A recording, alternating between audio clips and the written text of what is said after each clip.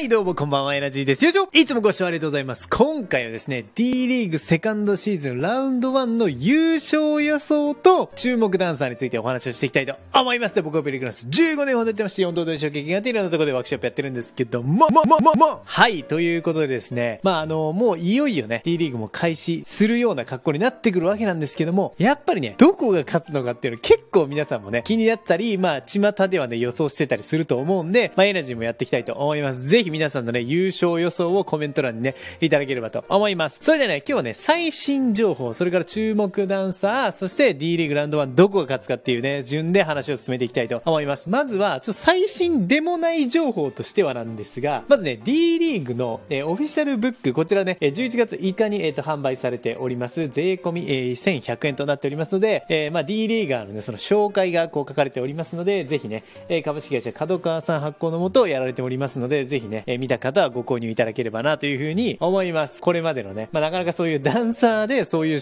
特集されている、まあ、本みたいな、僕らの時代だとダンスディライトみたいな感じのフリーペーパーみたいな感じだったんですけども、まあ、これは実際にね、あのーまあ、有料でという形なので、まあ、クオリティはね、もちろんある程度あるということだと思いますので、ぜひね、お手に取っていただきたい。えーいうことですね。それが1点目ですね。で、2点目っていうのが、えーあれですね、こう、マイナビの、マイナビ ×D リーグ、えー合同企画ということで、まあ、未来のダンサーを、えこう、育成するというような感じで、まあ、そのオンラインワークショップを開催するということなんで、これでですね、まあ、その、いわゆるその高校、まあ、カンタロウさんも言ってたけど、高校ダンス部からこう、ピックアップしていくと、まあ、いうようなことで、まあ、いわゆるもう本当にこういう風になってくると、まあ、ダンスを職業化していく、まあ、そうするにダンス人口をさらに増やしていくみたいな感じには最終的には繋がって、まあ、どこの企業にみたいな感じにはもちろんなっていくと思うので、まあ、要するに近くの、まあ、そういうね、ダンススタジオへ通う人が、まあ、増えそうっていう見込みですよね。こういう流れを作るってことはね。まあ、そんな形でゲストとして第1弾は、えーセーフティーニラプチャーズからみゆちゃんが、まあ、ワークショップをそれね、務めるというような格好になってますので、まあ、詳細ね、えっ、と、デュースの、えっ、と、チャンネルというか、その、まあ、ブログに載ってますので、ぜひね、第1回目は11月21日みたいなので、ぜひね、皆さんも、まあ、その高校生の方は、えー受けていただくといいんじゃないでしょうか、ということですね。これがまあ、2つ目。そして、3つ目ですね。ハブで、まあ、その、あれですですね、飲み屋、飲み屋のハブでですね、まあ、その D リーグが放送されるということになりますので、まあ、あの、立ちながらというかね、で、これ、まあ、今はまずある程度か、あの、店舗が限られてて、東京、千葉、大阪、京都、名古屋、福岡、仙台というような格好になってますと。で、それぞれはね、D リーグ公式サイトに載ってますので、まあ、あの、ぜひ見てくださいということで、まあ、そういってね、まあ、ちょっとこう、立ち話しながらダンスを見る、そういう世界も、まあ、広がっていくんじゃないかということでね、あの、いろいろな形で、まあ、PR 活動をしているというようなことが、まあ、そのの最新でもない情報ということで、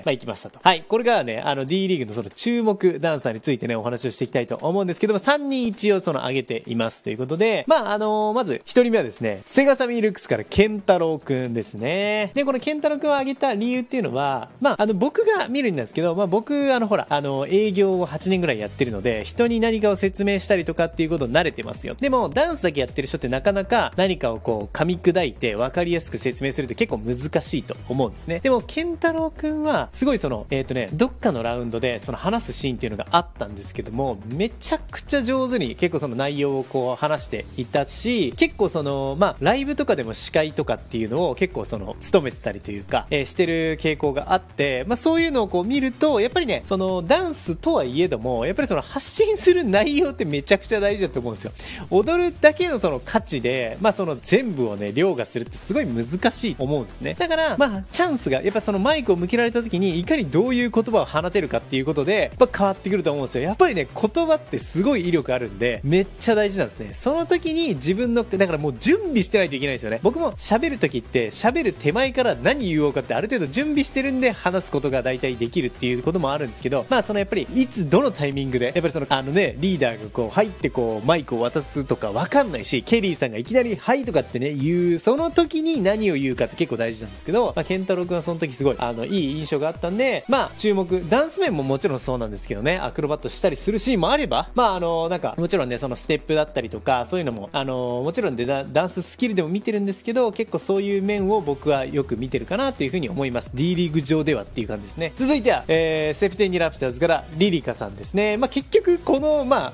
基準で選んでるっていうのはありますと。まあ、やっぱり、まあ、話す回数が多いんで、リーダーにどうしてもね、そのなりがちにはなるんですけどね、こういうのってね。まあ、やっぱりその、誠実な、その、常に対応というか、まあ、そこら辺が、やっぱりこう、まあ、一般層というか、いうところに響いていくんじゃないかなと思うし、まあ、ああいう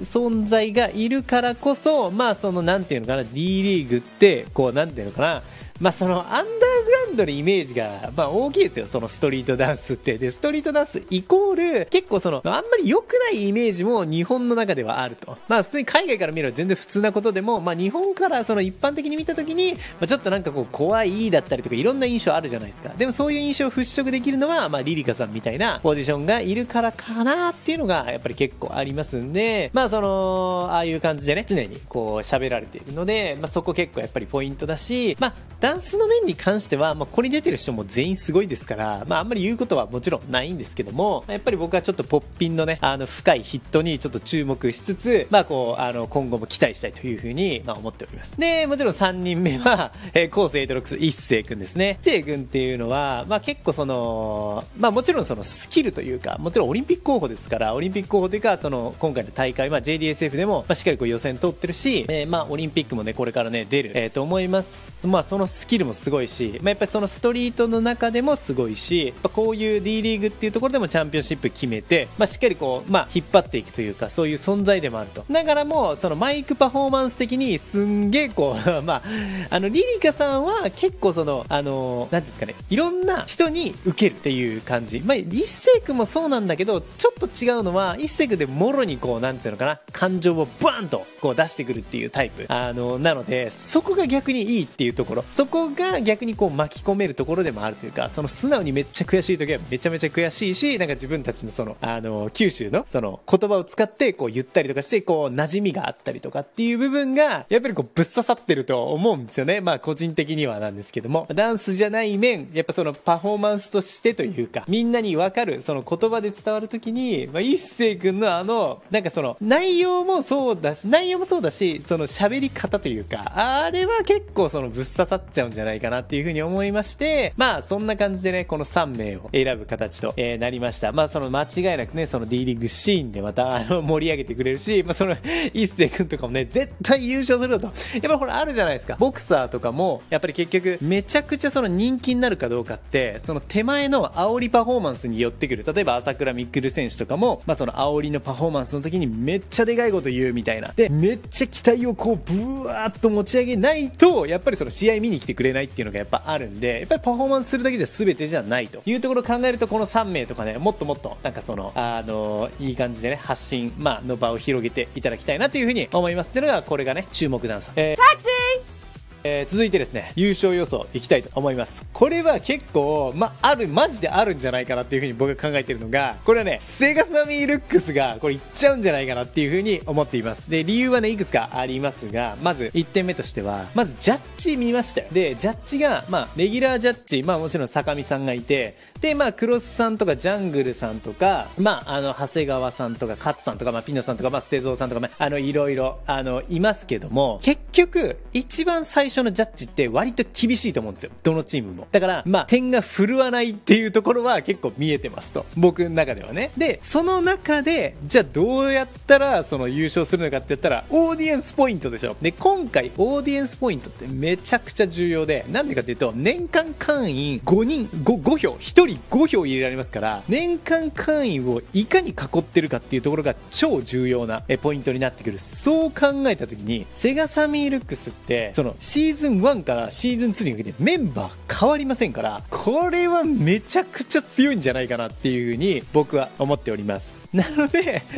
オーディエンスポイントで、やっぱこう、オーディエンスポイントってめちゃくちゃ大事だからね。この D リーグにおいてというか、その応援される存在である。まあ、つまり、まあ、ダンスしてなくても応援される存在じゃないといけないっていうところがあるので、そういう意味でね、まあ、かなり有利を取ってるんじゃないかなっていうのは僕が思うんですよ。だって、点数、例えばダンスのポイントが振るわなくても、オーディエンスポイントが20ポイント入った日には、わこーんっていうね、そのひっくり返しがやっぱり全然あるわけなんですね。そう考えると、まあ、それらを加味して、セガサミーが、まあ、一発目結構その、いい感じのね、ポイントを出すんじゃないかな。ちょっとレイザーズと結構迷うところではあるんですよ。まあ、構成も、まあ、あり得るっちゃあり得ます。メンバーほとんど、あの、変わってないですし、あれなんですけども、がっちりね、8人がまた戦いに行くってなった時とか、やっぱりこう、いろんなものって、いろんな商売って、女性をいかに囲えるかってめちゃくちゃ大事なんですよね。僕的にそう思ってるだけなんですけど。まあ、なので、その、買い物でも女性目線っていうか、まあ、女性連れていけば男性行くみたいなやっぱ感じじゃないですか。で、こういう D リーグとかもそうですけど、やっぱ女性が話題になるものってめちゃめちゃ広がっていくわけなんですよ。で、セガサミーって、僕の印象ではあれだけイケメン揃ってると、やっぱりこう、